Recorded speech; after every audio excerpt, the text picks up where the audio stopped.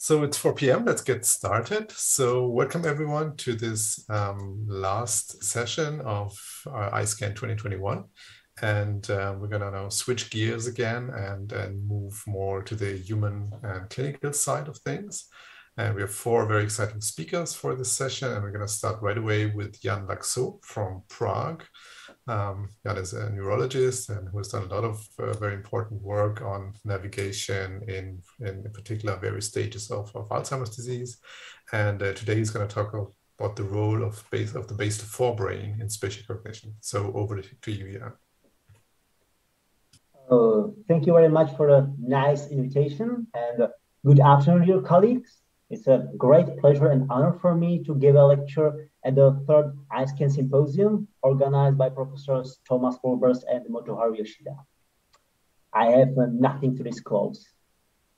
So, in my talk, I am going to briefly provide you with anatomy and projections of the basal forebrain, explain the role of the basal forebrain in Alzheimer's disease, and show how morphometric changes of the basal forebrain and its projections are associated with alterations of spatial navigation across the AD continuum and alterations of spatial pattern separation uh, in AD. The basal forebrain is uh, located in the frontal lobe, ventrally from the striatum. It consists of five nuclei, including the medial septum, labeled as CH1 in the Mesulam's classification, vertical limb of the diagonal uh, band of a Broca labeled as CH2, and these two nuclei are mostly measured together. Then there is a horizontal lip, limb of the diagonal band of Broca labeled as CH3, nucleus basalis of Meynert labeled as CH4 that consists of three regions, anterior, intermediate, and posterior. And the last is uh, nucleus uh, supraterminalis. Uh, the uh, basal forebrain uh, neurons are the main source of uh, cholinergic uh, projections uh, to the cerebral cortex. The CH1 and the CH2 nuclei primarily uh, project to the hippocampus and the entorhinal cortex. The CH3 uh, nucleus primarily projects to the olfactory bulb, and the CH4 primarily projects to the cerebral cortex.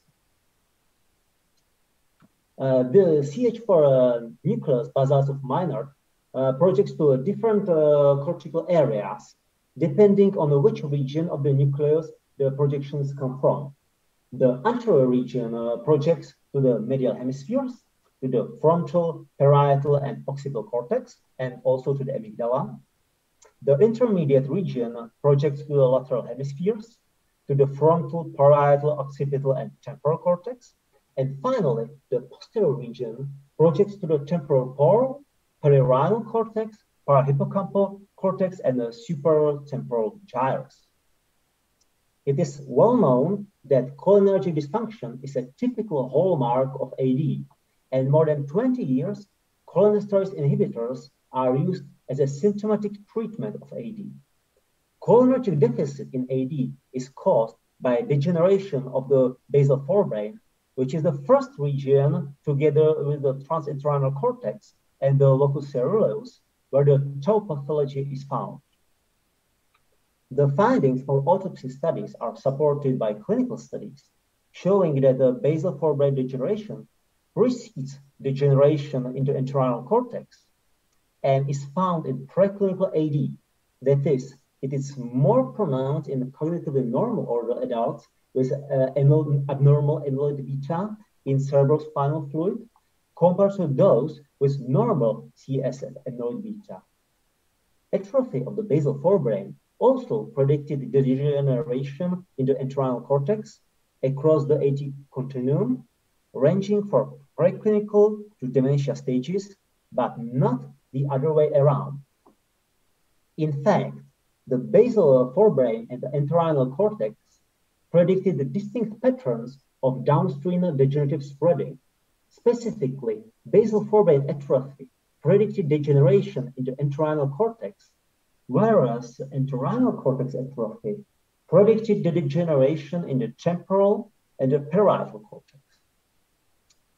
Atrophy, uh, atrophy of the uh, atrophy of the basal uh, forebrain. Sorry for that. Oh, perfect. Atrophy of the basal forebrain, especially CH4 posterior region, was also associated with a reduced cortical glucose metabolism in the precuneus in older adults at risk for preclinical AD.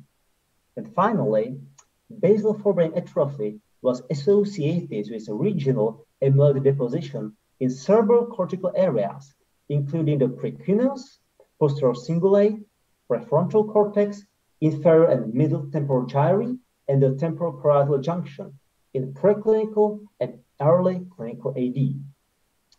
Animal studies suggested that selective lesions of basal forebrain cholinergic neurons lead to impaired spatial navigation in Morris water maze. Lesioned mice took longer to reach the hidden platform on training trials, and worse spatial navigation performance on the probe trial was associated with a lower hippocampal choline acetyltransferase activity. Also, selective lesions of basal forebrain cholinergic neurons lead to impaired place avoidance in an arena with no intra and extramaze cues, where animals had to rely on self-motion cues. Lesioned uh, rats that received a murine uh, had worse performance compared to animals that did not undergo surgery or uh, received rabbit saporin and, and were similar to animals that did not receive uh, foot shock during training. Specifically, lesioned mice had more entrances to the shock zone and explored further from the home safe zone compared to control animals that received foot shock during training. Acetylcholine plays an important role in spatial navigation in animals and humans. And our recent translational studies show that administration of scopolamine a centrally active anticholinergic drug, impairs allocentric navigation in rats and humans, while co-administration of acetylcholinesterase inhibitor alleviates this effect in uh, comparable protocols in a water maze task. It was also shown that acetylcholine increase may improve spatial navigation in patients' AD. Specifically, older adults with mild AD dementia improved in allocentric navigation in a computerized human water maze task after three months treatment with an acetylcholinesterase inhibitor donepezil at a dose of 10 milligram per day. And no improvement in performance was observed in the non-treated group. The first study exploring the association between basal forebrain atrophy and spatial navigation in AD used real space and computerized versions of the human Morris water maze task, where depending on the task, the participants could use a start position and two orientation cues to locate the goal, as in the mixed allo-egocentric task, or only the start position, as in the egocentric task, or only two orientation cues, as in the allocentric task. The study showed that atrophy of the anterior basal forebrain that consisted of CH1, 2, 3, and CH4 anterior nuclei, and also atrophy of the posterior basal forebrain that consisted of CH4 intermediate and CH4 posterior nuclei was associated with worse allocentric navigation in the real space task in cognitively normal participants, participants with amnestic mild cognitive impairment, and mild AD dementia. In our recent study, we recruited biomarker-defined participants with AD who were in amnestic mild cognitive impairment and mild dementia stages. Using the real space human water maze task and a more detailed basal forebrain mass, we showed that especially atrophy of the CH1-2 and the CH4 posterior nuclei is associated with worse allocentric navigation in AD. Another recent study focused on associations between basal forebrain atrophy and spatial navigation in individuals at higher risk for AD. For this purpose, they recruited cognitively normal older adults with cognitive complaints. This is individuals with subjective cognitive decline who are at high risk for AD and those without complaints. Using the computerized human water maze task, they showed that atrophy of the whole basal forebrain and especially CH4 posterior nucleus is associated with the worse allocentric navigation, the whole cohort, and especially in older adults with subjective cognitive decline.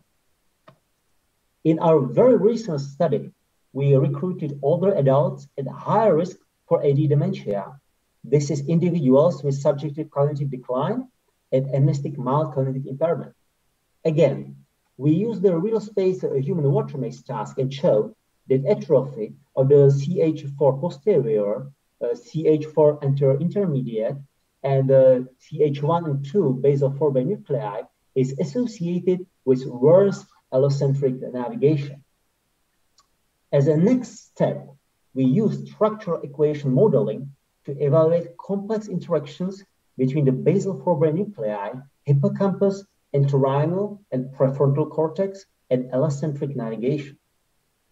Controlling for demographic factors, we identified three pathways through which different basal forebrain nuclei influence allocentric navigation. First, CH1-2 atrophy was associated with worse navigation through hippocampal atrophy. CH4 intermediate atrophy was associated with worse navigation through prefrontal cortex atrophy. And finally, CH4 posterior atrophy was associated with worse navigation through entorhinal cortex atrophy and subsequently hippocampal atrophy uh, through the hippocampal path, rather than through entorhinal cortex atrophy alone, which was the non-hippocampal part. The direct associations between basal forebrain nuclei and allocentric navigation were not significant in this model. Uh, next, uh, we explored basal forebrain projection, especially fornical projections to the hippocampus and their associations with spatial navigation. The projections were reconstructed using probabilistic tractography in cognitively normal older adults, individuals with subjective cognitive decline, and mild cognitive impairment. Basal forebrain fornical projections were disrupted in older adults with mild cognitive impairment as indicated by a decrease of all diffusion tensor bed tract integrity measures compared to cognitively normal older adults. Decreased tract integrity measures were associated with worse allocentric navigation performance in the whole cohort. And uh, now I'll briefly talk about association between basal forebrain and uh, pattern separation. Pattern separation is a process that is crucial for effective encoding, where two similar information has to be encoded separately, allowing for subsequent accurate recall. This applies to similar objects, places, or locations, where this is called spatial pattern separation. In the hippocampus, the dentate gyrus and the CA3 subregions are essential for uh, pattern separation processes. Both regions are modulated by cholinergic septohippocampal projections from the basal forebrain. In AD, basal forebrain degeneration leads to diminished cholinergic input that causes reduced activity of the dentate gyrus and increased activity of CA3 recurrent collaterals which results in decreased discrimination ability and uh, pattern separation uh, deficits. Animal studies suggested that selective immunotoxic lesions of basal forebrain cholinergic septohippocampal neurons lead to impaired spatial pattern separation. In a new environment, lesion threads did not develop a new spatial representation distinct from that of the familiar environment, which resulted in an increased similarity score. And their place cells maintained similar firing fields across different environments, indicating place cell rigidity.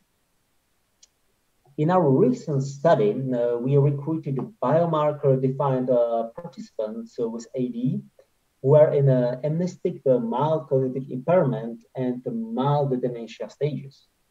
we used a spatial pattern separation task where the participants remember the location of a blue circle on a computer screen and after 20 second delay indicated which of the two simultaneously displayed circles was in the same location as the previously presented one. For spatial separation, distances between two circles were used, 0, 0 0.5, 1, and 1.5 centimeter. Our results showed that atrophy of the CH12 basal forebrain nucleus, the hippocampus, and the entorhinal cortex is associated with worse spatial pattern separation in AD. As a next step, we used a mediation analysis to evaluate interactions between the CH12 nucleus, hippocampus, and spatial pattern separation. Controlling for demographic characteristics we identified two pathways through which CH12 nucleus influences spatial pattern separation. Specifically, CH12 atrophy was associated with the worse spatial pattern separation directly and also indirectly through hippocampal atrophy, indicating that the hippocampus partially mediates association between basal forebrain and spatial pattern separation. We also evaluated interactions between the entorhinal cortex, hippocampus, and spatial pattern separation. Controlling for demographic factors, we found that entorhinal cortex atrophy is associated with worse spatial pattern separation only indirectly through hippocampal atrophy.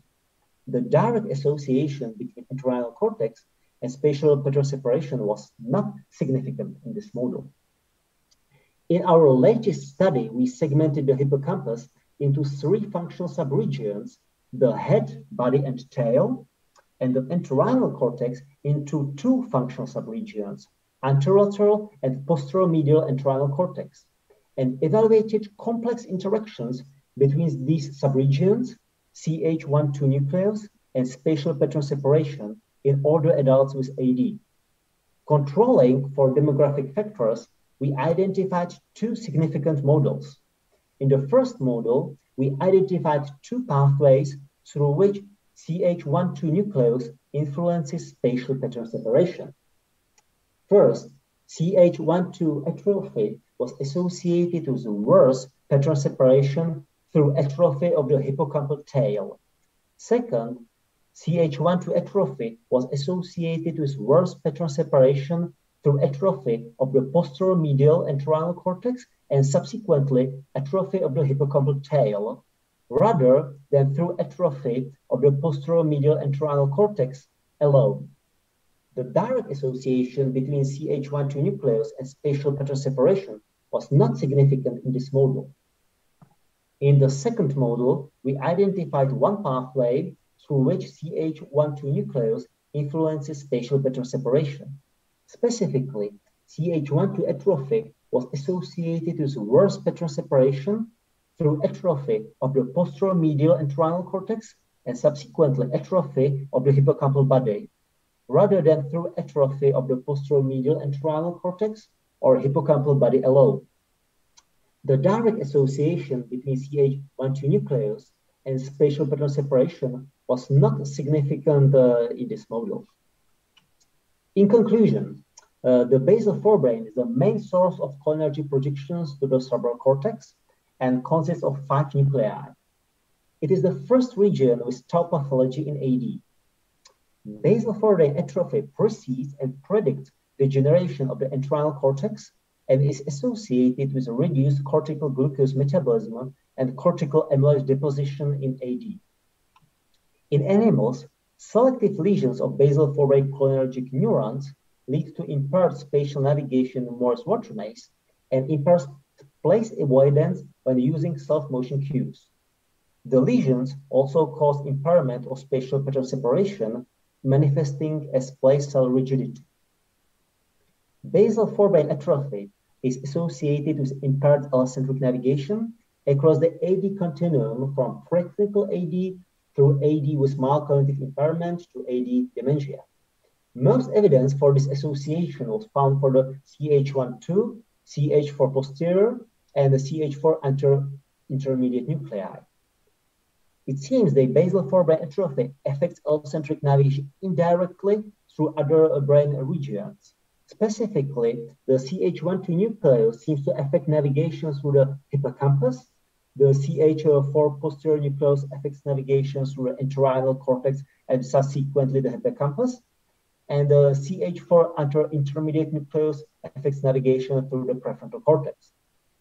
Basal forebrain fornical projections uh, seem to be disrupted in older adults with mild cognitive impairment, where decreased tract integrity measures are associated with impaired allocentric navigation.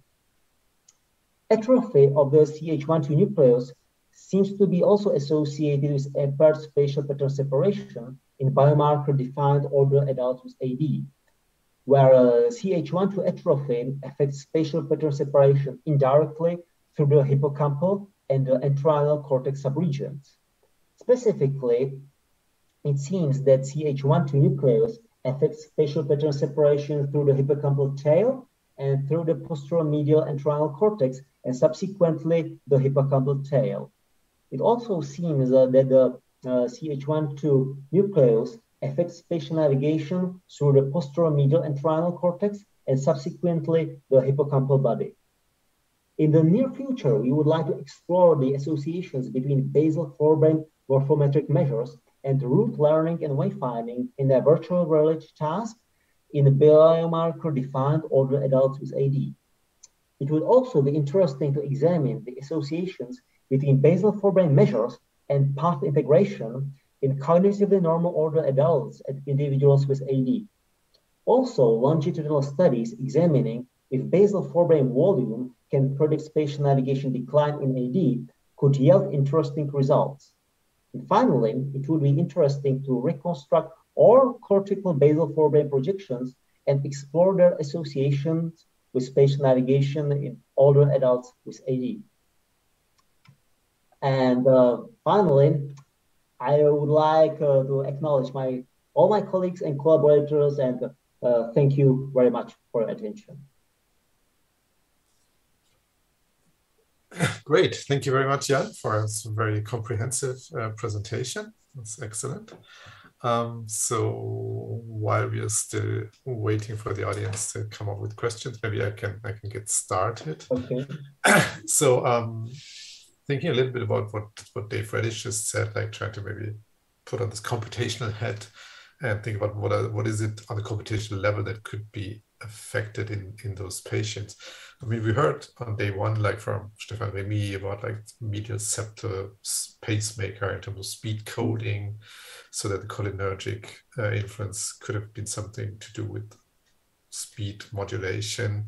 Do you have, and I think you mentioned self motion cues in one of your slides. So do you have any insights whether there is already something like, say, a speed perception deficit in those patients?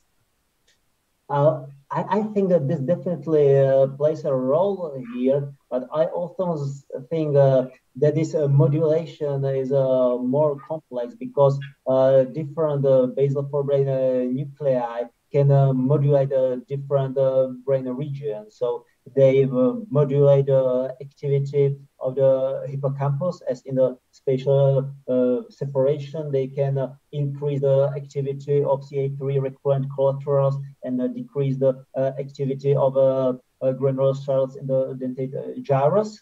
And th this is the direct pro projections for from the medial septal nuclei and uh, definitely the medial septal nuclei, uh, they influence the entorhinal cortex. They can influence the speed cells, uh, and uh, I assume that uh, they uh, can also modulate other cells that are the border cell, grid cells, and so on.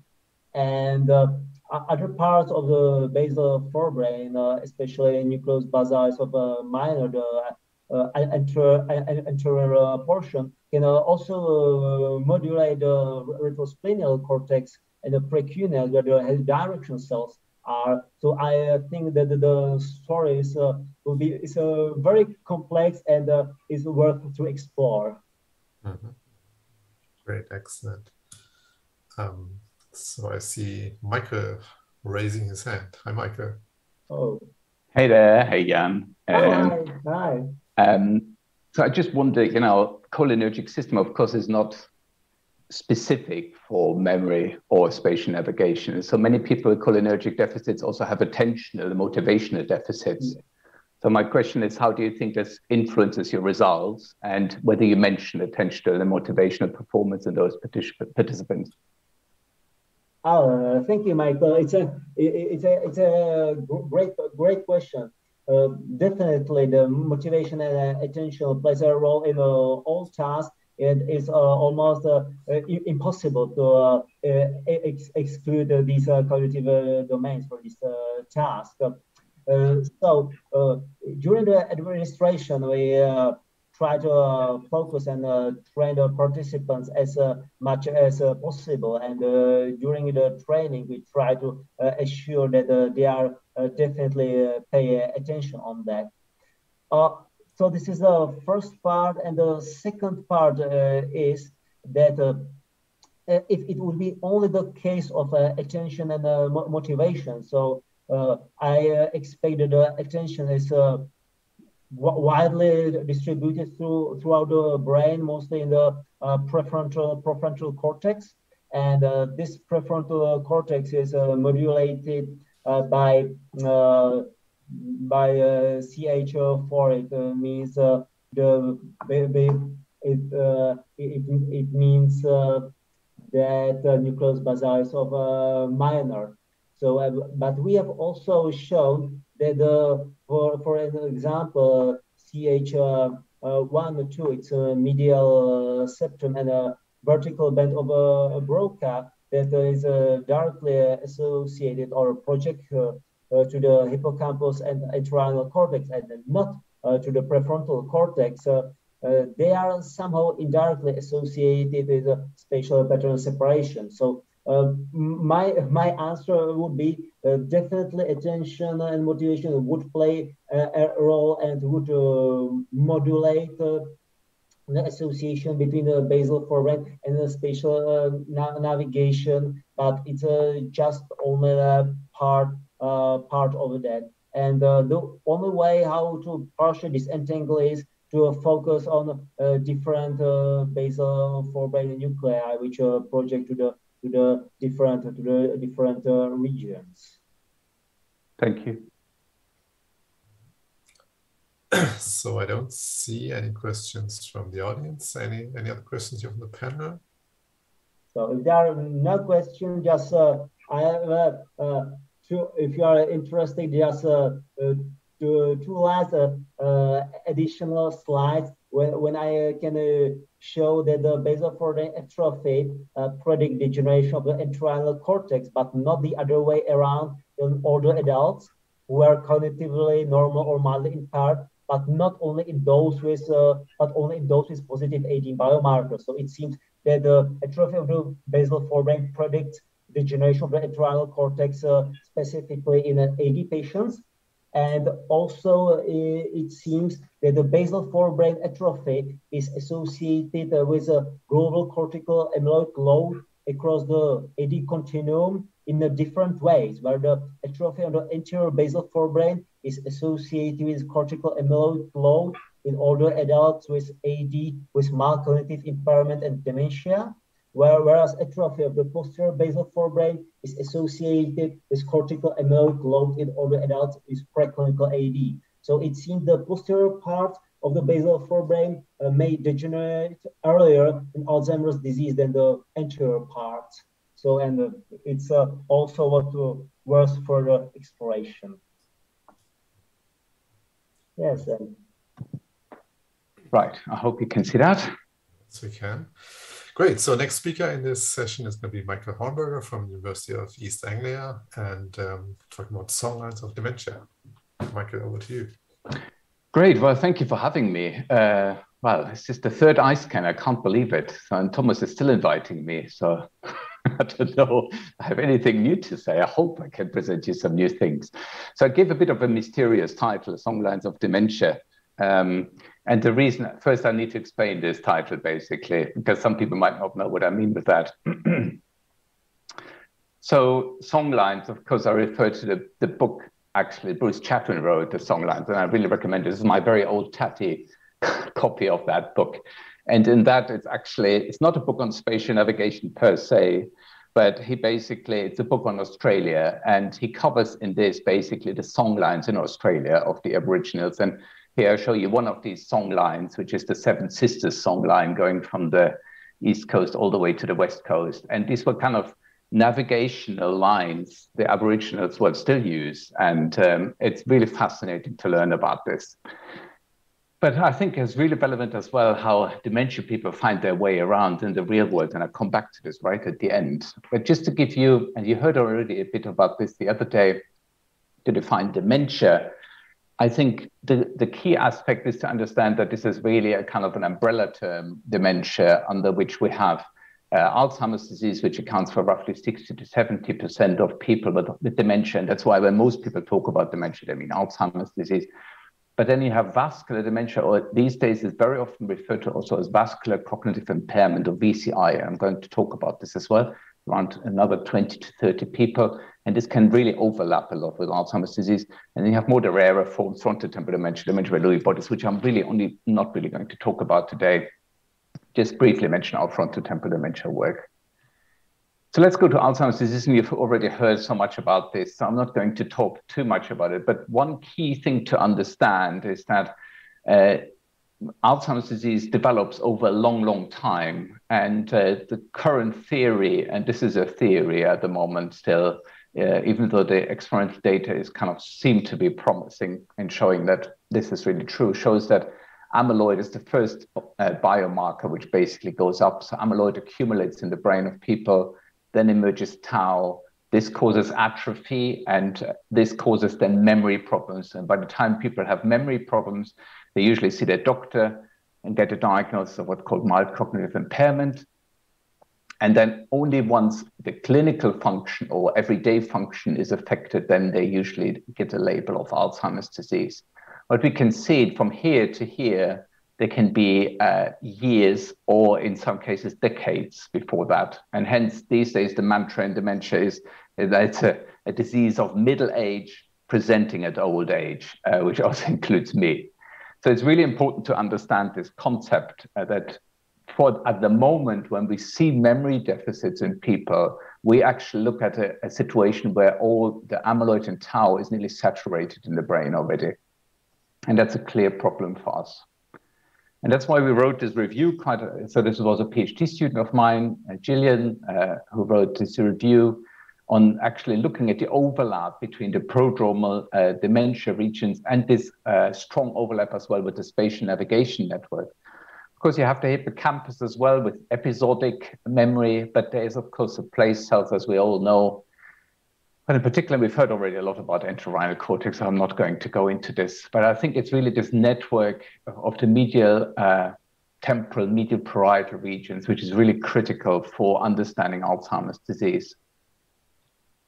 And you've seen the beautiful data by Karen Duff. I've just showed this to you again here, where she shows in the mice uh, how these mice, when they have in particular tau, that they really have memory problems, uh, develop memory problems over time, and how the grid cells basically disintegrate in these mice, um, which I think uh, was for us when this came out, it was really a realization before that we did spatial navigation that this was really a, a process we should tap into.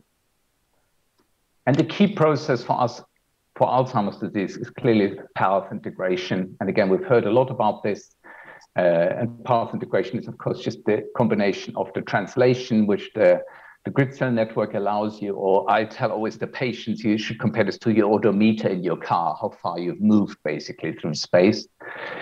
And the angular displacement, which a lot of this is the head direction cells, which we can be heard a lot about this. So combining this the beauty of path integration, and Thomas showed this beautifully in their data, is of course that you can, instead of asking people to navigate necessarily back all the way, you can just ask them at the end point to actually go back to the beginning or point to the beginning.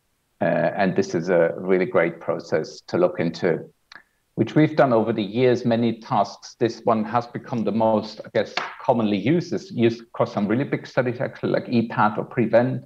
Uh, which uh, is also called a supermarket task. So sorry, casted um, your task. There are the supermarket tasks, of course, available. Um, And um, this was developed from a student again. And I always say, I wish we had it developed nicer because it looks a bit like a Soviet supermarket with half empty shelves.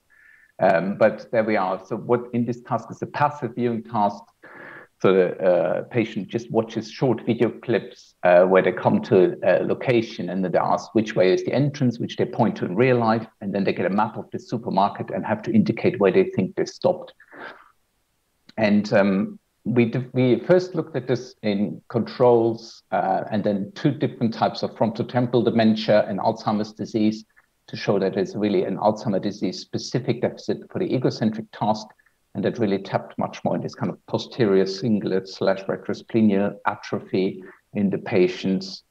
Um, but we saw similar deficits then for the allocentric task, where interestingly we found that all the patients they were much more clustered on the borders and of course, we've heard a lot about border cells and um, that people basically, um, you know, especially mice, they use the borders to kind of refocus.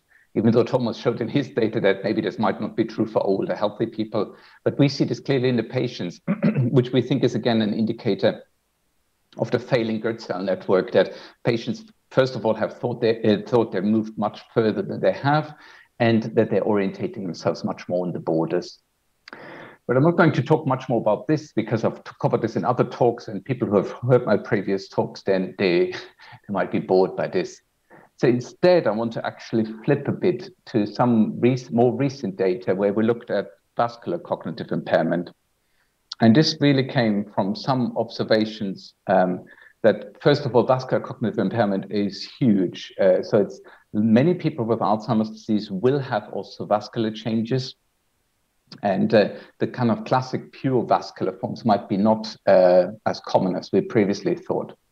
But what do we mean by vascular cognitive impairment? And you have to see this as a kind of continuum, I guess, uh, where on the one end, uh, you have what we would call a multi-infarct dementia. So these are people who have multiple strokes or infarcts over time. And every time they have a stroke, basically their cognition goes down until they qualify for diagnosis of dementia. And uh, so this is the severe case. You have a very large, either just one large, very large uh, cortical stroke or uh, multiple strokes. Then you have what we call the more the strategic infarcts. This is like a classic uh, thalamic, looks anterior thalamic uh, stroke. And uh, what you can see is that people are fairly healthy, then they have the stroke, and after that, there is some com potential compensation happening, but they're still qualified for diagnosis of dementia. And then you have the third category, and these are people who have much more uh, changes, uh, in particular to the white matter, which is called white matter hyperintensities, and uh, very small infarcts, which I'm not sure you can see that. Uh, they're like little holes um, and these are very tiny strokes these people have. And of course, um, these are um, very common and very often not detected. It's very common for people who have high cholesterol or high blood pressure, which of course are extremely common conditions in aging. So this is one thing uh, which then very often leads to more gradual decline. And at some time, uh, some form, people will qualify for a diagnosis of dementia.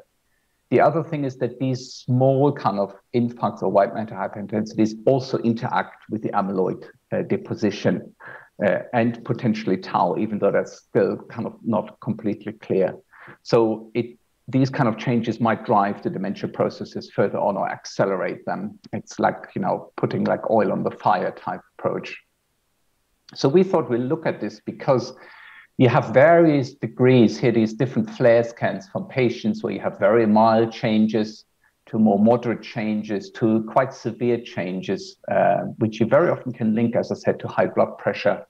Uh, and the interesting thing is with these vascular change, these vascular changes, that a lot of them are reversible by lifestyle changes. And in particular, if you read in the literature that dementia, you know, is potentially can reduce the risk of dementia by 30 to 40 percent many of these interventions, which are lifestyle based, are targeting the vascular contributions actually to dementia. So that's why it's a really, really important aspect to look at. And if you look in particular at these kind of white matter hyperintensities, they're very often targeted these periventricular uh, regions, in particular superior longitudinal fasciculus. which of course connects the frontal and parietal regions. And that made us think that especially the and the cingulate gyrus might be affected by these white matter hyperintensities or the lacunae in these patients. Because as we know, these are kind of hitting this kind of more egocentric framework. So this was our hypothesis. Do actually these potential people with VCI, do they show maybe more egocentric deficits um, and might this be potentially an interesting cognitive marker for these people? And that's what we've done. In a very recent paper, again, we used this, this old task we're having, the supermarket. And what you can see is that these, again, these VCI people indeed show really severe deficits on this very, very simple task in which way is the entrance, that have really problems with this egocentric translation where things are in space. And uh, I loved, of course, Carsten's talk in terms of, you know, I'm such a big fan of having um, clinically feasible tests. Like our supermarket test, again, takes you 10, 15 minutes, uh, and you need these tasks for that people use them in the clinics, otherwise they're never used. But still, we got a lot of comments all the time that our task is too complex and you need a tablet. So we came up with an even simpler version, with a paper and pencil literally version. And this is what we call a, a kind of a clock analog task. And in this task, uh, we, we tell people, well, we show them a clock face, and then we say, imagine you're standing in the middle of the clock face and you're facing a certain number. Now, can you point to me to number so and so? And uh, we have different trials which we go through. So you can make this from quite easy, just a 90 degree, to much more complex kind of move, uh, how people need to turn on the clock face, just imagining how they turn on the clock face. So it is all in the head. And what you can see is this really pulls these people even further apart. And this test takes you literally five minutes, and it's a paper and pencil test. So very, very basic test, um, which for the clinical people is really great. And it really pulls these VCI people completely apart from both the Alzheimer's and from the controlled people. And if you do some ROC curves, what you can see. So this is the, the distinction between uh, the VCI and Alzheimer's disease. And then you can see this clock test has an area under the curve of 0.9. So uh, it's pretty incredible for a test which takes you less than five minutes. So I think this is, uh, you know, for the future, we will definitely use this much more as a really very quick test to just check these egocentric responses. And I think it would be really interesting to use this as an outcome measure for intervention studies. I think that's frankly, that's why I think all the, uh, personally, that's where all the spatial tasks will go. So I moved away from the diagnostic side because the blood biomarkers, I think, will sweep everything away. And we will maybe look more at our spatial tests as more uh, outcome measures or functional measures of people's ecological problems, as Carsten also uh, mentioned. So now uh, I'm, I'm going to switch to the genetic risk kind of people. And I think this is the, um, we talk now about people who have already some changes, but ideally we want to detect these changes much, much earlier. And at genetic risk, you can, of course, look at uh, people like with presenilin, uh, one or two, but they're very rare. And so it's more interesting to me, at least, to look at genetic risk, which is very common in the in the population and um, the most common genetic risk factor, of course, for, for dementia is the is ApoE, and most of you will be very familiar with this. But just for those who are not, uh, so you have usually you have uh, three types of ApoE: two, three, and four. Where three, what's called, is the wild type. So it's most common in the population. Uh, while uh, ApoE4 is basically rarer and ApoE2 is even rarer. And ApoE4 increases your risk for dementia, ApoE2 actually decreases your risk for dementia. And there's also a difference whether you're non-carrier, so ApoE3, or whether you're heterozygous, so you have one E3, one E4, or you're homozygous, which means you have two E4. And there you can see your frequency of developing Alzheimer's disease this is just a population frequency. It really increases with the heterozygous to the homozygous. You will, it's very, very likely to develop it. And also you develop it much younger, basically.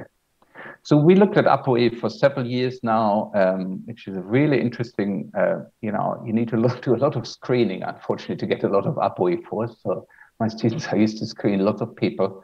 Uh, but I think it's a really interesting model to look at.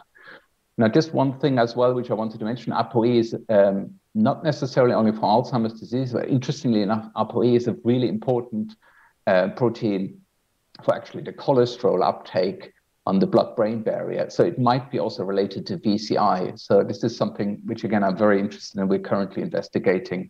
So this might again be this kind of interaction between vascular and Alzheimer's disease changes. So we did again uh, in our supermarket test, and what you can see, so these are people who are either the uh, homozygous wild type, so they have just the normal population risk of Alzheimer's disease or dementia, and these are the people at increased risk with one allele because they're more common. I'm not showing here the, the homozygous because again, they're quite rare. And uh, what you can look at is, for example, that their spatial memory, and they're not different from each other. And um, again, we, literally throw, uh, in English, they say we throw the kitchen sink at these people. So we test them with any possible memory test, and you won't find any differences between these, these groups. So these are, you know, perfectly fine. Then you see some very mild egocentric response deficits. And we've shown this now over several actually tasks that you see these uh, deficits.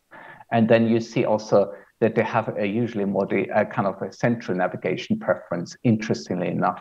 So this is kind of reverse, which Thomas again talked about. Um, and this really replicates what, of course, Nico Axmacher has shown very nicely in, in his data with the Lukas Kunz uh, publication. But we can show this even with our very simple tasks. So there's no learning involved here. People just navigate this, and it's a really kind of simple task.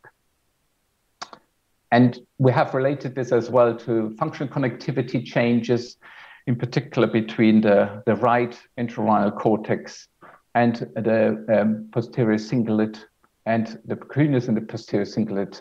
And um, I think this is really just showing that already in these people who do not have any atrophy uh, and did not have any white matter hyperintensities, I should say to this as well, and no, it didn't have high blood pressure, that you can see these very subtle differences already emerging, which we think uh, is really a sign maybe that this might affect them already. But once you go into this kind of preclinical cohorts, it becomes very, very hard actually in terms of variability. The, the effects are so subtle that you need to really have reliable data. And of course, as you, you many of you have heard my previous talks. Of course, Sea Hero Quest is one of our big things we've developed many years ago. I've developed with Hugo Spears at UCL.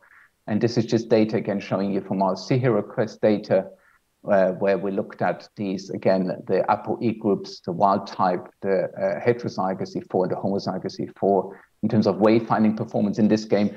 And we benchmarked them against this group of 27,000 people, which were all age and education and um, gender matched to these ApoEs.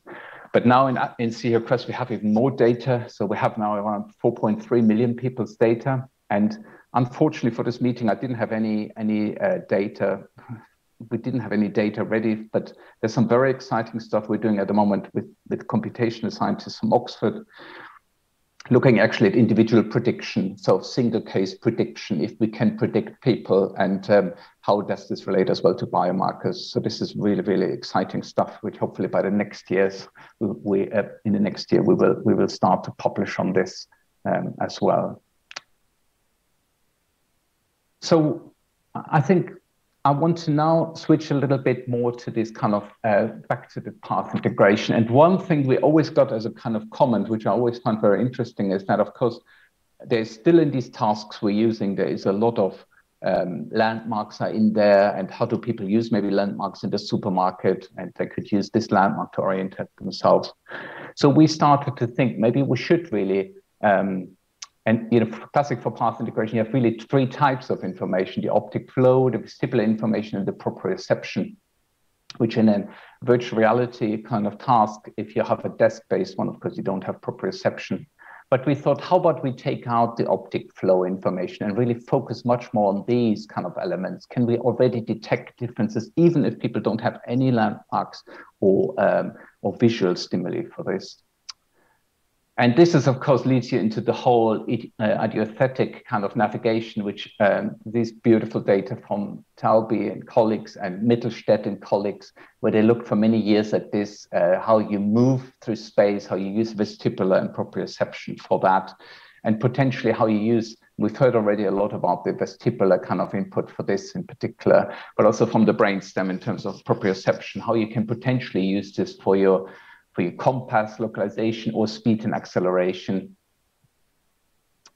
And for that, um, we developed basically a new uh, an app uh, on a on an iPad, and um, this app basically allowed us to to start to measure this and get really detailed information on, on people's movement through space. And we, we created a, a really simple task actually, where we had people uh, focus at a, a kind of a, a, reference point, and this was usually the door to the room.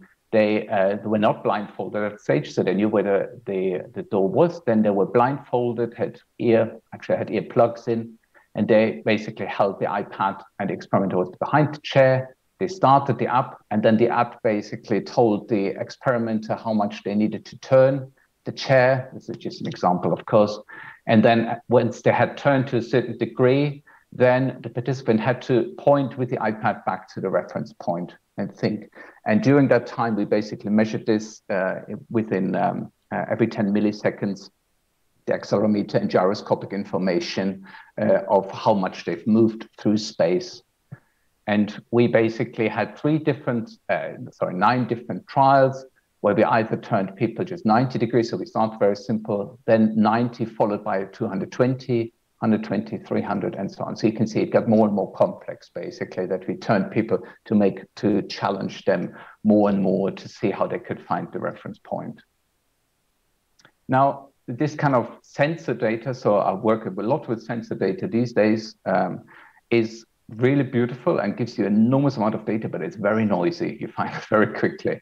So this is, for example, gives you the kind of just the heading information from the iPad uh, for, for this kind of for one trial. You can see there's huge variation as well, how people point to. So we worked together with some computer scientists again, um, who uh, helped us basically clean or normalize the data so that it's all normalized. And uh, then we realized there was so much data in there. So we didn't want to only look at the error people did in terms of degrees, which we could easily measure ourselves.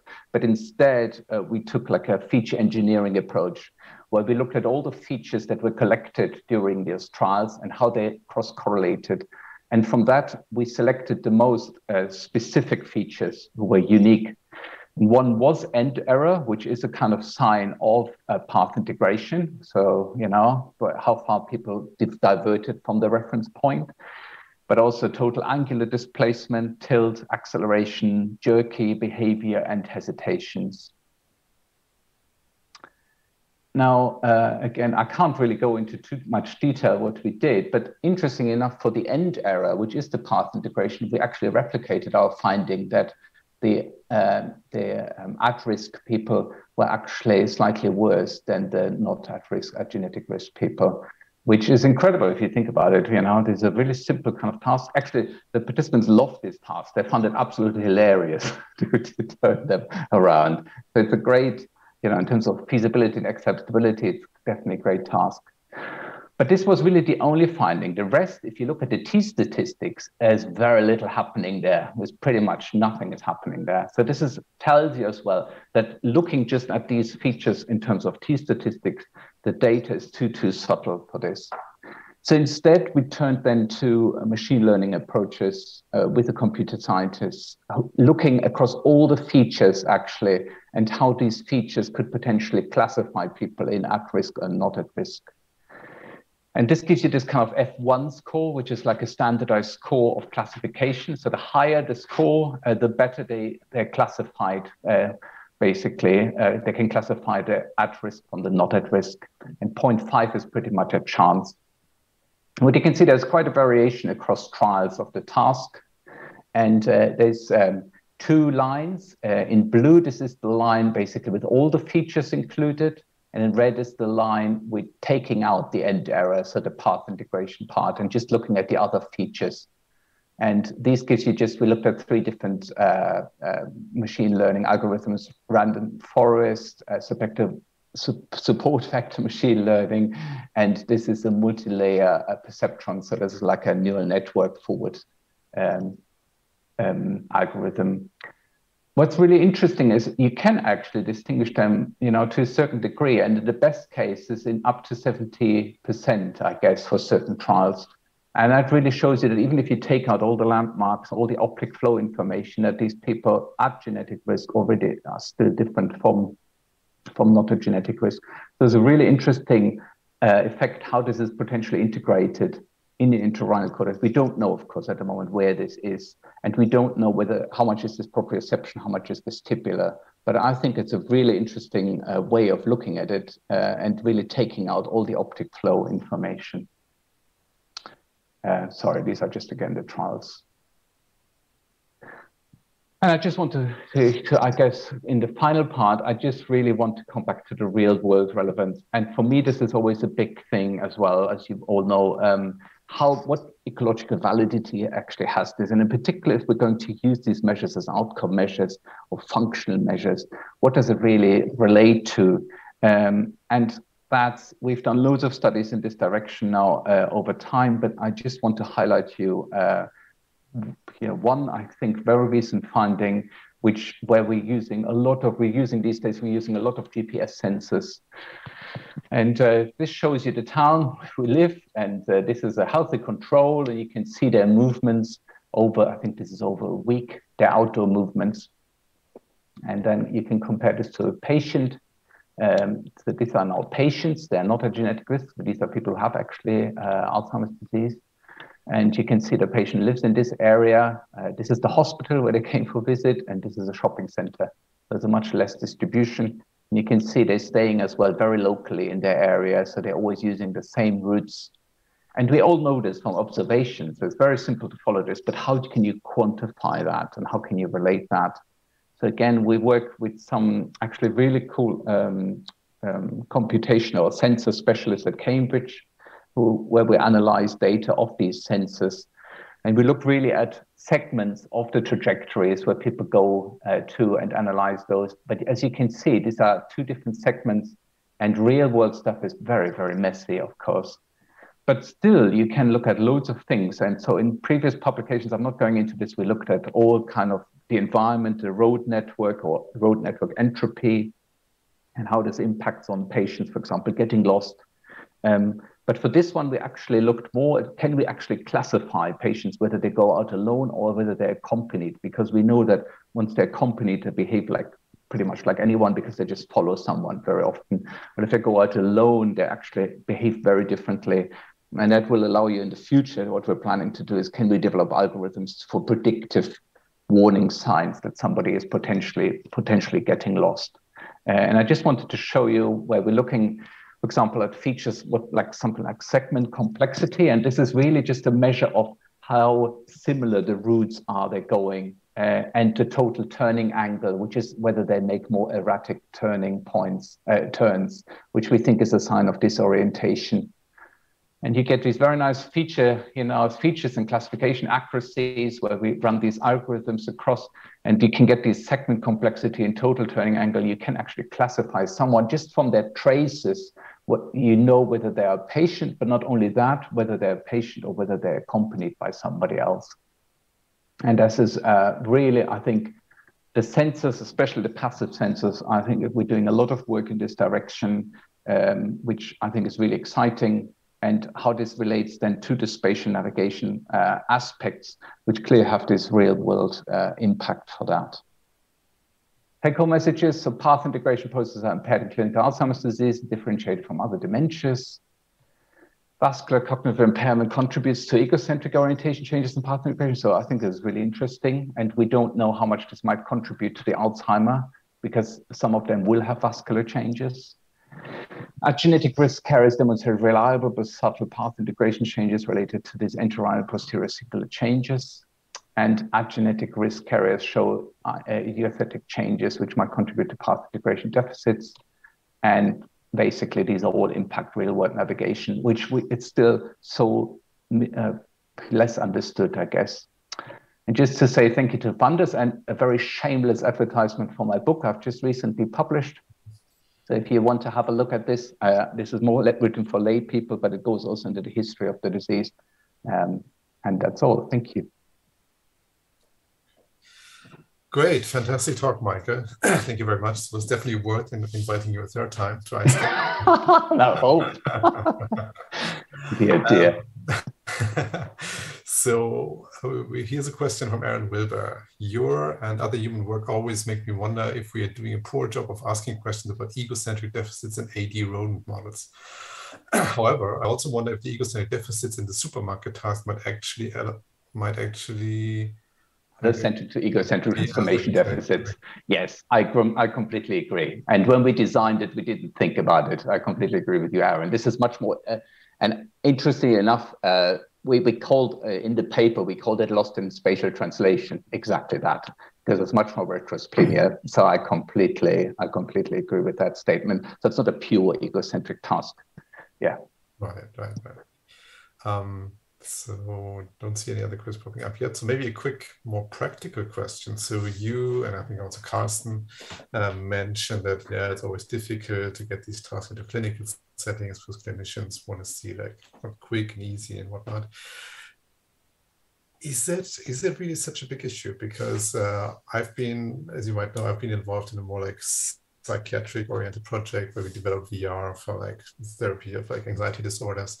And our experience was yes, initially clinicians can be quite hesitant, but then when they really see the benefit in terms of additional information it gives them in terms of the additional treatment options they have, they actually they, they start being very open and then they also are happy to then say, okay, it's something that's technically more involved. It's something that might take a bit longer than my usual, but I also see the benefit. So do you really think it's it's such a big problem? I, I, yeah, I, I, still think it's a big problem, but I agree with you. The buy-in comes when people see actually the benefits of this. Then I think people get really convinced of this. But if you want to scale it up, it gets very hard. So if you go to a tertiary center like a university hospital, you can convince people. But if you go to a smaller hospital or to GPs or anything like this, it's very, very hard to convince anybody. Or in a small community hospital, they will just say, we don't have the resources, we don't have the time and so it's very hard to convince them. And even if you say to them, or oh, just give them the tablet in the waiting room, uh, you know, while they're waiting. Um, so I think there's a lot of work to be done. So it needs to be fairly quick and reliable and very, you know, not intrusive at all. I think people are really always stretched, I think. So there's a big difference between the university hospital settings and and smaller communities. And for me, that's I think more rolling it out across, I guess, and Carsten mentioned this as well, the remote monitoring aspect is clearly something which becomes much more relevant now. But then who's checking the results and how would people check the results is a, a really kind of interesting aspect.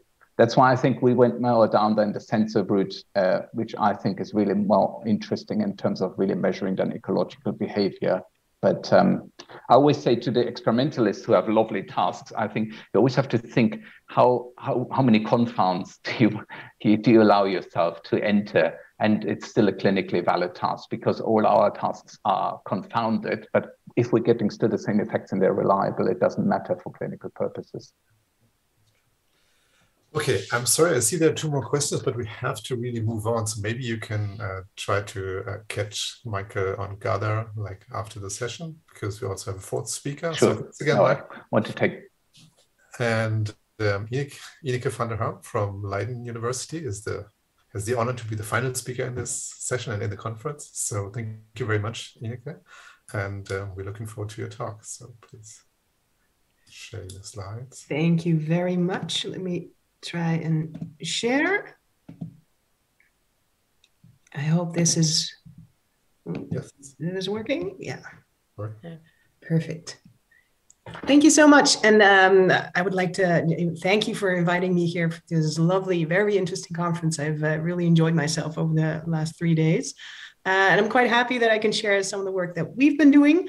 Um, and uh, I titled it Navigation Performance Across the Lifespan. And uh, I would like to pay specific attention to uh, self efficacy beliefs and stereotyping as a potential uh, impact on performance. Um, so in my group, we focus a lot on getting lost and um, sort of regardless of the cause. So we, we focus a lot on uh, people uh, affected by um, acquired brain injury. So there's a really sudden onset of navigation complaints and we, we try to diagnose this and try to uh, help out um, with a treatment. Um, we've also uh, worked with people who um, have problems getting lost um, from birth onwards um, and also gradually with older age. So all these uh, groups are, are incorporated in, a, in our work. And uh, thinking about navigation impairment, we started working on this uh, about 12 years ago. And this really started uh, with something that uh, Carsten has also um, linked to that people report the complaints, but actually in our clinical toolkit, we have nothing to really deal with this. We have the Rey complex figure, we have other very limited tabletop tasks that really don't address the complexity of navigation uh, impairment in the real world. Um, and that was something we observed and decided to start working on. Um, because if we address, uh, work with these people with the complaints and we use dedicated experimental tasks, we can really show highly specific impairments. So I would like to see our work as very much um, going from clinical practice to, um, to theory. Um, and that this is an interaction. So a lot of our input comes from um, requests and needs from the clinical field, and we try to work with that from our theoretical perspective. So really an evidence-based approach. Um, so first of all, we started uh, to um, look in the field and look how, how big is this issue of navigation impairment after uh, acquired brain injury. And we devised a questionnaire, which has been changed over the years um, a bit and now has a final version of 22 questions that cover navigation and orientation, distance estimation, and spatial anxiety, because we see in these uh, patients, anxiety levels are really, really highly relevant um, and often linked to navigation performance. Uh, and we found this to be a reliable tool. It's freely available in Dutch and English, and there is a French and Turkish version at the moment as well. Um, and we found that this is valid and clinically useful, especially for stroke patients. Um, and we are now in the process of, of uh, we've just submitted um, an elaborate normative data set for this, taking into account age and gender, as these factors are quite um, impactful on, um, on scores on this questionnaire. And um, so putting this topic, and I guess uh, that sort of makes sense at the end of this conference where we started out um, quite fundamental, and now we are, this is a very practical approach. If we put this in a neuropsychological context, there is just a really strong need for meaningful clinical material um, that is accepted also by the clinical um, um, environment. Um, and what I've learned from, with my interactions from people in the clinical field is that they really would like something that reflects the self-reported complaints, because most of the times that is a starting point that a patient or person um, reports navigation impairment themselves. And um, so the, the wayfinding questionnaire is the first entry to, to, um, to look into that. Um, and we've went into the literature uh, looking at individual case reports because often these are um, described very elaborately. And um, a few years ago, we found uh, a total of 67 individual case descriptions um, that looked into the question if the navigation uh, performance becomes problematic, what are the characteristics of the, um, of the problems? And we figured out there were three main domains to which the um, impairment uh, patterns could be assigned. Um, and this is something that looks like this. First of all, we have people who had really problems in the identification of landmarks during navigation people with problems with static spatial information or, or locations. And you can do this with regard to the self, of course, egocentrically, or with regard to the environment, allocentrically. So within the patients described, there were some that were more egocentrically impaired and others that were more allocentrically impaired. And um, there was a group of individuals who had specific problems with uh, paths or spatial relations between different locations, or the question, how do I get there? And here we also found a dissociation between, between people who had problems with dynamic information. So, how do I get from A to B in a step by step fashion? Or people who had uh, problems just referencing uh, two or more locations to one another. And um, uh, sort of uh, going from there, we also were interested to see how aging was uh, reflected in literature at a behavioral level. So we looked into literature with behavioral measures of navigation, taking into account this subdivision of different cognitive domains that we uh, established. And we found 39 studies that did one or more behavioral measure of navigation in relation to age. Um, and we did this to sort of get a get a feel of what was uh, presently available. Also, because uh, obviously many studies focus on one element or two very specific elements of navigation and not the um, navigation ability in its entirety. Um, one observation that we made is when we looked at the age ranges used, so we had 39 papers, and actually eight of them did not report specific details about the ages included, which was remarkable, I thought. Um, but for the 31, this is um, the frequency uh, um, depiction of which ages were included. And obviously, as you can see, a lot of the papers only focus on a very young group versus a group of 65 to 75. But there's this in, yeah, um, very interesting group in between and also at an older age that might also be worthwhile to uh, look further into. And when we looked at the tasks that were typically used, um, you can see this here. I hope it's not too small. There we see um, for each um, domain as we determined it, um, the total number of studies that included it out of the 39, and the total number that showed decrease, and um, number of studies that showed stability. We see that the majority of the studies focus on the path information, so with two or multiple locations, and there we find a convincing um, pattern of a decrease with age especially in the, in the majority of studies that have uh, just a very young and a very old group. So in uh, taking this into account that we have the multiple domains and that it would be interesting to cover uh, um, uh, a larger age line, so have more ages included, maybe just the entire lifespan, and also to, to incorporate the domains, as I mentioned. We did the uh, Leiden navigation test, which was an online um, experiment, uh, not nearly the size as a Sea Hero Quest, um, but we had in total 12,000 um, Dutch participants, um, ranging in the age from 8 to 100. Um, and sadly, this video, it wasn't working before. I think it won't be active. this will show you um, slowly going through the environment. As you can see here, this is the map of the environment. You would go slowly through it. At each intersection, you would meet um, a clear landmark that was distinct in color from the background. And we would ask different questions per domain. So first of all, we would ask, did you see this landmark as, um, as a landmark question? For the location um, questions, we ask uh, this one. So can you place the item on a map or not? They hadn't seen the map before at that time.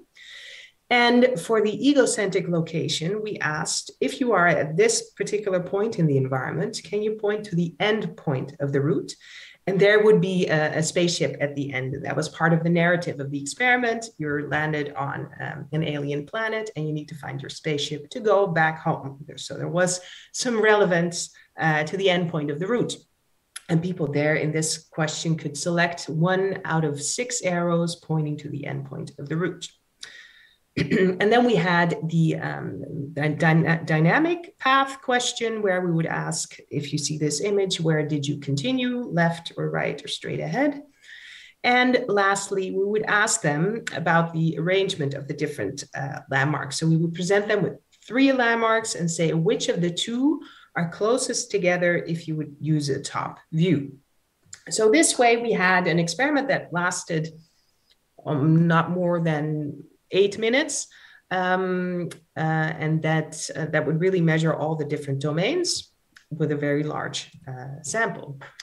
Just to show you briefly what we found per domain, um, what was interesting is that the aging pattern, if you uh, spread it out over different age groups, and also for female and male participants is that the aging pattern differs per domain that we, we saw. So landmark performance is actually quite good, starts out at 90%. Um, I only have the adults here for clarity. Um, And still for the older individuals, we st- they're above 80%. So this is going quite well.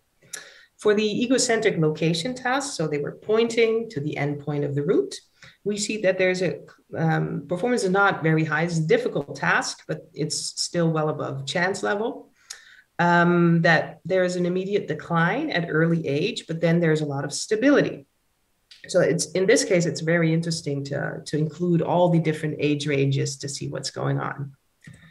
And then the allocentric location task, where people were um, invited to um, put the landmark on the map. We see a stronger linear decrease with age, a minor male advantage for some of the age groups.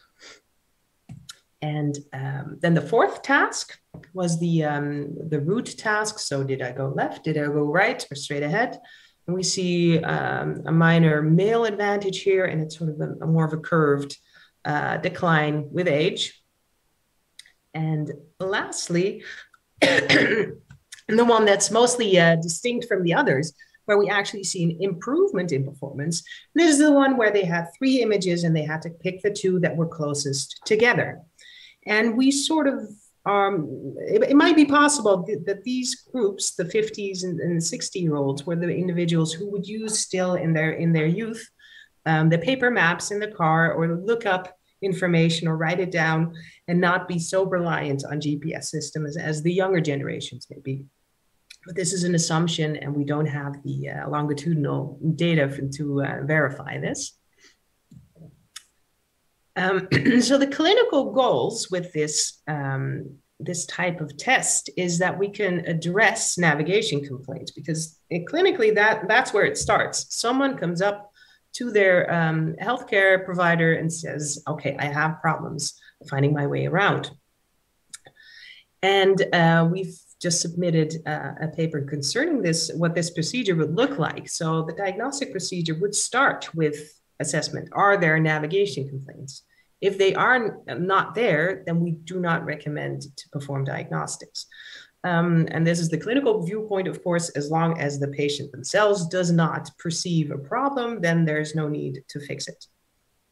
If uh, they do perceive um, a problem, then we would advise to first start with the wayfinding questionnaire to see if relative to their peers, are, are their ex experiences um, at an impaired level or not.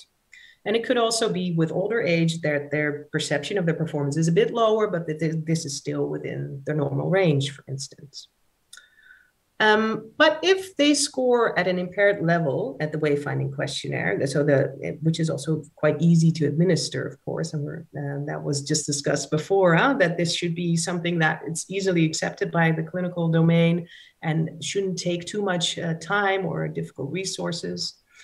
So then, uh, as a third step, we would recommend doing um, our brief uh, navigation test, which can be performed uh, online or as a tablet, like the examples before, and would take several minutes to perform. And in case someone also shows impairment on that level, then we would recommend um, uh, looking at cognitive rehabilitation uh, methods for this particular patient. And apart from performing a diagnostic procedure with the end goal of performing um, uh, rehabilitation, it could also be screening, um, an early marker, which has also been mentioned in these, uh, these uh, um, past days. Um, then you could consider going immediately to this objective screening because you can we can think about what the complaint itself would do. So it has a different function in that uh, setting.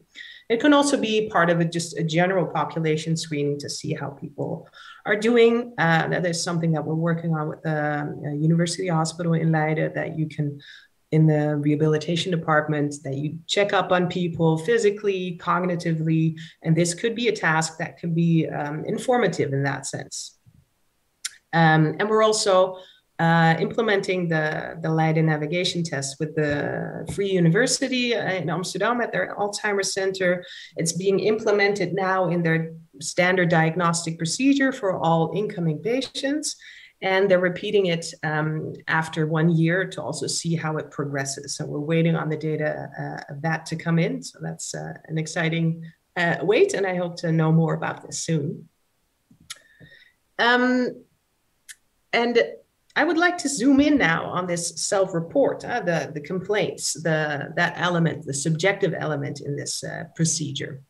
Because what we did in the Leiden navigation task, uh, the, the large uh, skill task, we also asked people just one simple question, how well do you think your navigation skills are? And here we see a very clear pattern um, that is affected by both gender and age. So as you can see in this graph, um, we standardized objective performance and we standardized subjective performance within this group. And here we see that um, the most underestimation, so the highest score, um, is, is visible in the young females, and the strongest overestimation is found in the oldest males.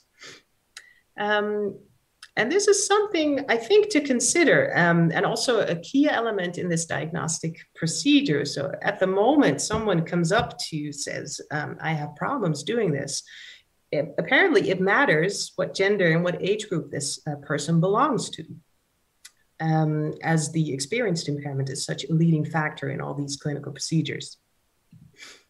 Um, what it also did for us is that it raised the question of, of um, how do people come to this decision? Are do they have um, apparently they don't really have a good uh, impression of their own performance, but what are they doing? Are they looking at their former self maybe for the older individual? So what reference frame do they use? Or um, do they rely on stereotypes um, in making this decision? So we decided to explore that uh, a bit more in this context. And what we did is we reached out to uh, 980 Dutch respondents and we asked them about stereotypes concerning gender as well as age. And we just asked them with regard for spatial abilities on the one hand and navigation on the other, um, if you have a skill going from male to female or from young to old, where do you think, who do you think is better in general? So it was a skill looking like this males on the left end and females on the right end. And concerning spatial ability, what do you think? Same for navigation. These were the scores. So people were strongly in favor of a male advantage for spatial ability in general. We just we decided to split this up and describe spatial ability as small scale uh, spatial skills. Um, in Dutch, this would also be termed spatial insight, and this is something that uh, is is, quite different from large scale navigation. So we decided to split that up and be very explicit in the questionnaire with examples and elaborate description about what we me meant by these terms. And for navigation, we see a highly similar. I think it was 37% and 39% for the, for the males and females.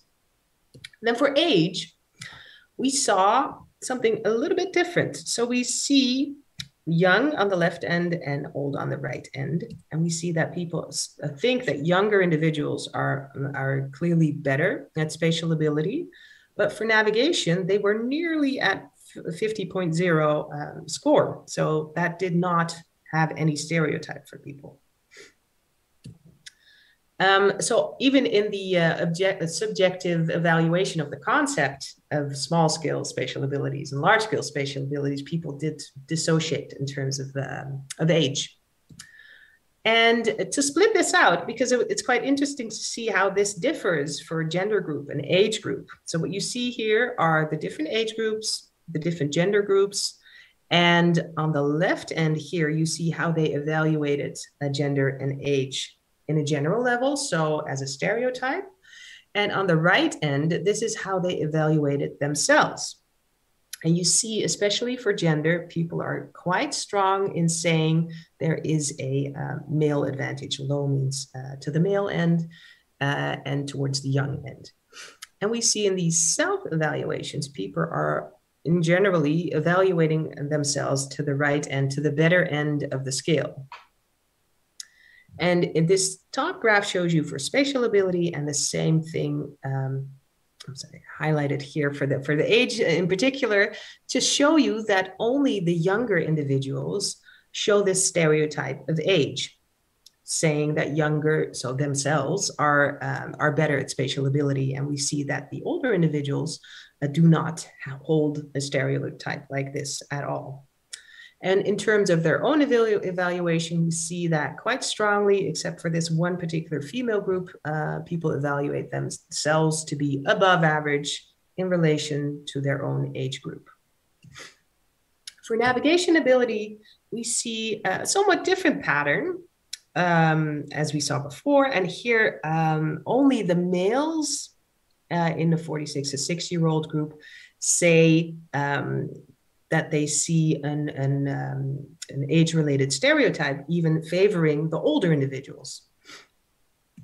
Whereas for the age group, this is quite similar to what we see here, only the younger females do not hold, uh, do not evaluate themselves as highly. So this is again the underestimation in the younger population going on for the, for the females. So what we see here actually is that uh, the gender stereotype is much stronger, but there is an age-related stereotype specifically for spatial ability, but not so much for navigation. Um, so self-reported performance and stereotype beliefs are different across age and gender. So that's really important to take this into account again in this diagnostic procedure. When people come up to you, if, what gender is, uh, do they have? What age group do they belong to? And we see that self-reported performance and stereotype beliefs show different patterns from objective performance. And also, it's important to be very clear about the cognitive construct you're interested in. Is it small scale spatial ability or large scale? Um, and I guess also quite important to let people know what you're looking for. Are, um, are they complaining about how they're performing now in um, relation to their old self? Or are they reporting problems in relation to peers? And are those gender gender uh, um, peers in terms of gender or peers in terms of age group or both? Um, these are all quite interesting things to, to keep in mind in this um, when, when asking about self-reports um, and we went a bit further with this. So we um, this was a group that we just questioned online, and um, a smaller group we we got to the lab and we did the Leiden navigation tap, uh, test in a lab setting, supervised, and we combined that with stereotype beliefs. And we had a group of young individuals and a group of older individuals, male and female. And overall, we just sort of explored the data and we saw that there were no significant correlations between objective performance, subjective performance, and stereotype beliefs. But when we started to split up the group, we saw that the young adults did show um, um, a relation between their self-estimation and objective performance. So they were, they tended to be a bit better in assessing how well they did. But the older adults showed uh, a link between stereotype belief and self estimation. So actually, the people who hold stronger stereotype beliefs of favoring older individuals were also the ones who evaluated their own performance better. So there is a, a relevant uh, informative link. For gender, we saw that uh, the males held no relation between objective subjective performance or stereotype beliefs. But for the females, we saw a similar pattern as for the older individuals. Those who thought that um, there was a, a, female favoring stereotype or less male favoring stereotype also evaluated themselves better. So a direct relation between objective performance and stereotypes seems limited, but there are patterns between stereotype beliefs and these self-estimation, self-efficacy beliefs, uh, especially for older and female individuals. And uh, we decided to go a bit further with, with this to see if we can manipulate this. And we did this only with the gender because there the, the stereotype was a bit stronger.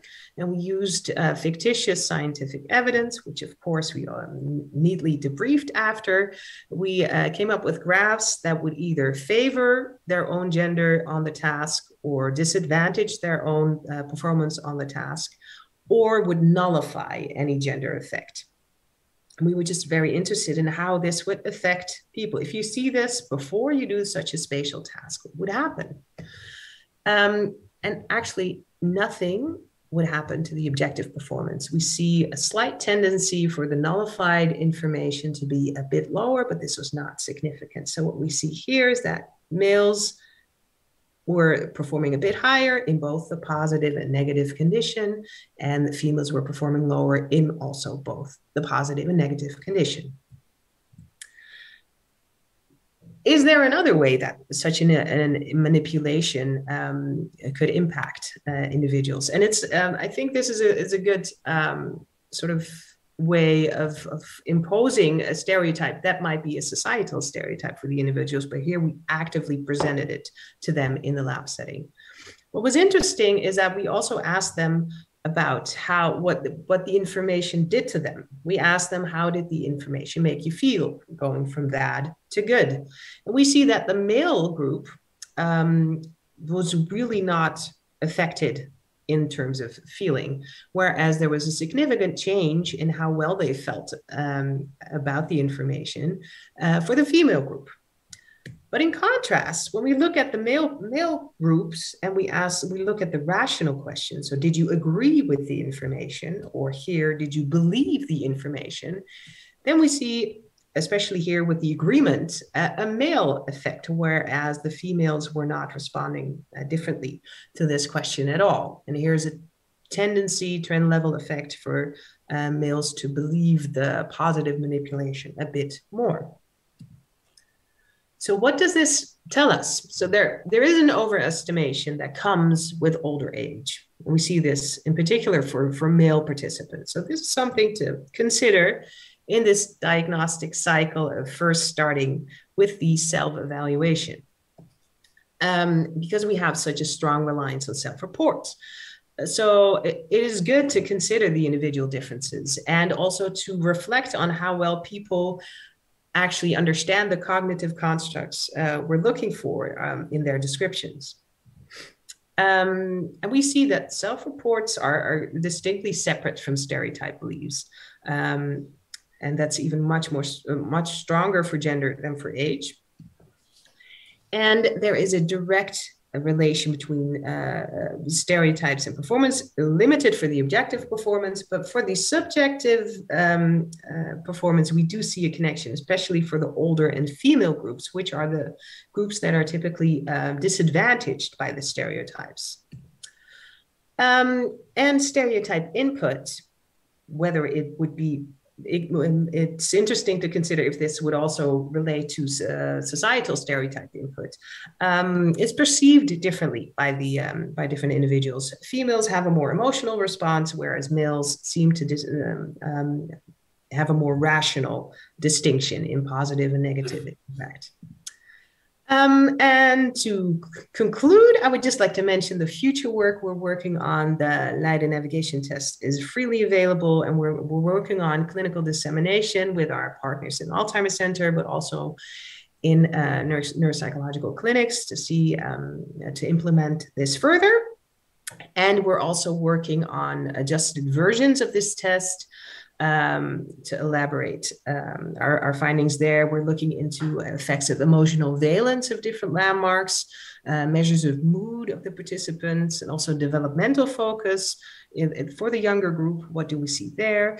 And I was very interested to, to hear about uh, Carsten's work because we're also considering uh, doing this task with neuroimaging in the MS patients to explore that further.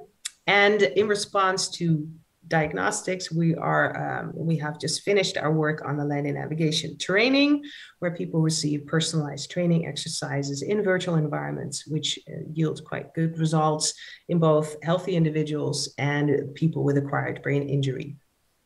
And I would like to finish here by thanking uh, the people who did most of the work, Michiel, Milan, and Anna, and also other people involved in this work. And thank you for, uh, for listening. okay, great. Thank you, Ineke, for this very comprehensive overview of your work. So we have uh, two questions here from the audience. Um, first one, do you think that increased technological skills, for example, navigating with Google Maps or navigation systems, uh, could influence the estimation of young-old stereotypes? Um, so if the um, increased technological skills um, could influence the estimation,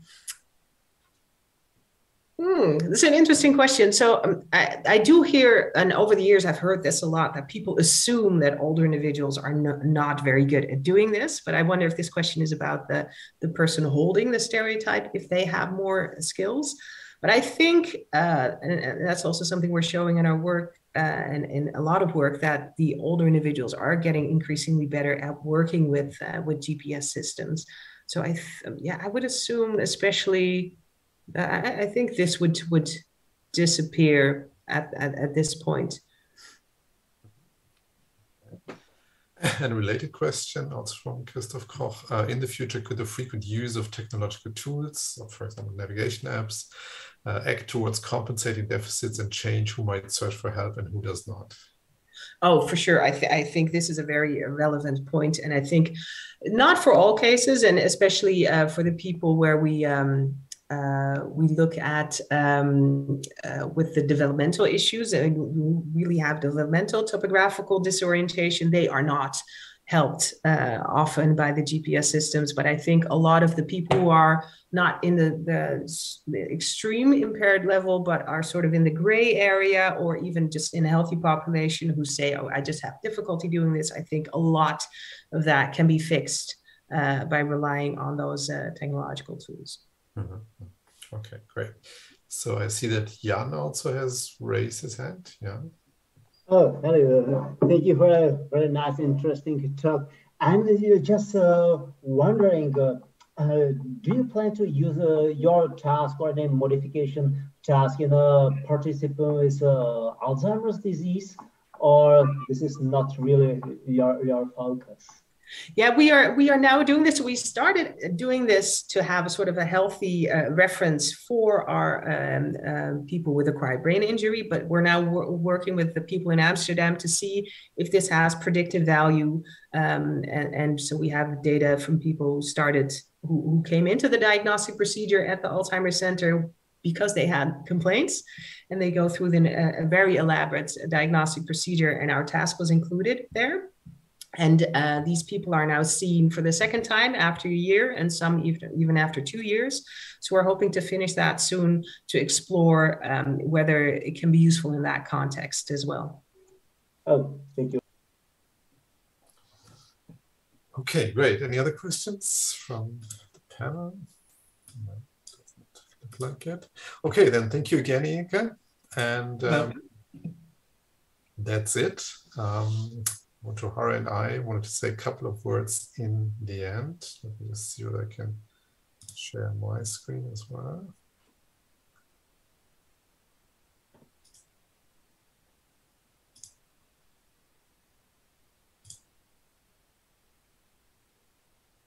Can you see that? Anyone see that? Yep. Okay, perfect. So that's it. This was iSCAN 2021. Um, so we hope that you enjoyed the conference um, despite its, its virtual format. Um, we want to take the opportunity again to uh, thank in particular our backstage crew um, and also Annette Kirmes and Sandra Littmann who really made things go so smoothly.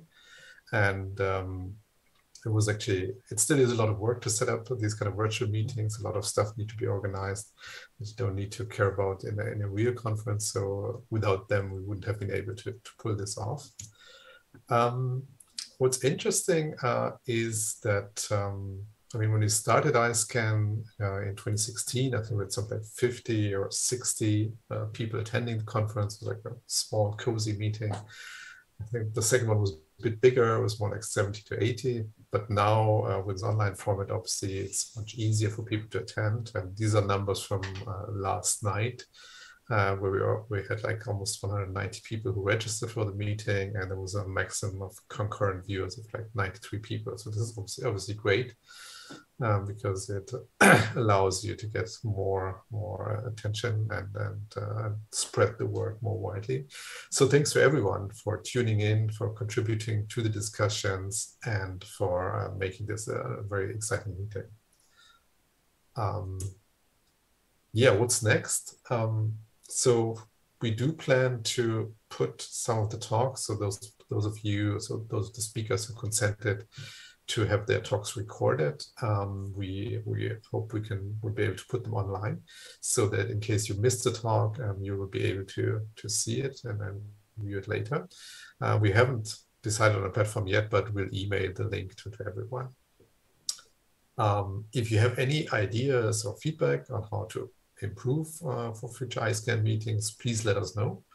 Uh, we're not going to do any kind of formal survey, but you know the email address, iscan at dzne.de, which will remain open. So if you have any ideas on how, what, how to further develop the meeting or maybe additional topics to cover, um, just let us know and we'll be very happy to consider this. Um, yeah, so we don't know what's going to come in the future, in the near and far future. we hope to be able to do another meeting in 2023.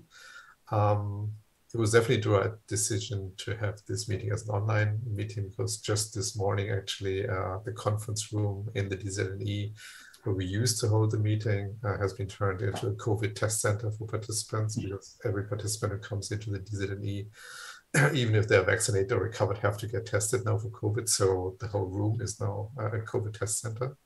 Um, but we hope, of course, that in 2023, uh, everything will be uh, more relaxed and uh, hopefully we can have an in-person meeting again. But in the meantime, we want all of you to stay healthy and do keep doing the great research you've all been doing. And um, with that, I'd say goodbye. Uh, I don't know, Motahari, do you want to say any final words? Yes, I will uh, talk a little bit. So yeah, as a co-organizer, I also uh, thank very much for all the participants for this iSCAN 2021. And uh, I think I myself enjoyed a lot, and I hope it was the same for everyone. Um, I'm very happy with all the uh, speakers, and uh, yeah, I thought there's a very good balance of repeated speakers and the new speakers as well.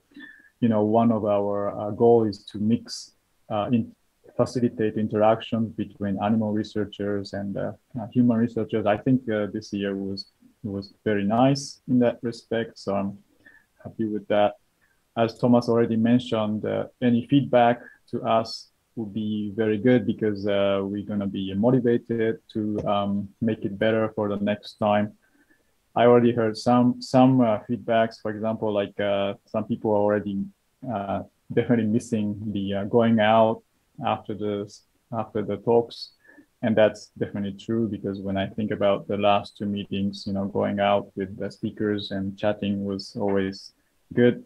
But uh, I also have heard some um, comments like, yeah, it was actually great waking up in our apartment, in my apartment, and you know, eating breakfast and uh, listening listening to uh, great talks. You know, so there were definitely um, positive parts also, and I hope people felt this way and uh, had a unique uh, experience uh, with uh, including this gather space so yeah, I hope and you you you all enjoyed like I did, and uh, I hope to see you hopefully in two years in person.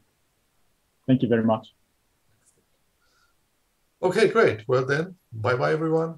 Have a good day, good night wherever you are, and see you soon. Oh yeah, the gather will be still open, so yes. people who want to especially uh, ask more questions to uh, some of the speakers from especially from this session it is it is still possible. Yeah perfect yeah. Okay bye bye everyone. Bye